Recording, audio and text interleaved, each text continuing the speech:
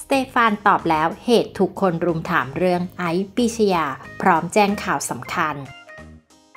ต้องรีบออกมาชี้แจงกันเลยทีเดียวค่ะสำหรับสเตฟานอีสเลอร์หวานใจของไอซ์ปรีชญา หลังจากโลกโซเชียลชาวเน็ตนั้นถล่มคำถามว่า ไปทำอะไรให้นักแสดงสาวรู้สึกเสียใจถึงได้โพสต์ข้อความตัดพ้อลงสื่อขนาดนี้ โดยฝ่ายชายนั้นก็ได้ออกมาตอบคำถามที่หลายคนนั้นสงสัย และ แจ้งสถานะล่าสุดกับไอซ์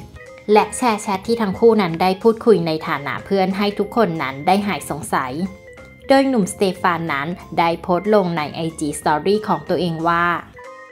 นักข่าวไม่ต้องโทรมานะครับ ผมกับไอซ์เลิกกันตั้งแต่ปีที่แล้ว เราเป็นเพื่อนที่ดีต่อกัน ให้กำลังใจกันและกัน ข่าวไม่เกี่ยวกับผมแน่นอน ส่วนไอซ์ผมเป็นกำลังใจให้เสมอครับ คอยเป็นห่วงห่างๆ ตั้งแต่วันที่เกิดเรื่อง ผมก็รีบติดต่อไป เพราะเป็นห่วง เราได้คุยกันหายไวๆนะครับ เป็นห่วงเสมอชีวิตของไอซ์ไม่ง่ายเหมือนที่ทุกคนคิด ตรงไหนทุกเราต้องตัดจำไว้นะครับไอซ์สู้ๆครับ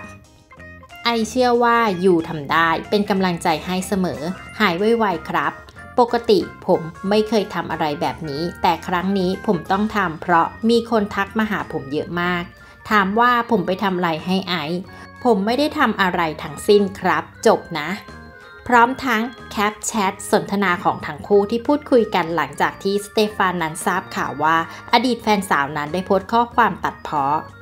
จากในแชทเหมือนไอซ์นั้นกำลังเข้ารับการรักษา และบอกกับอดีตแฟนหนุ่มว่า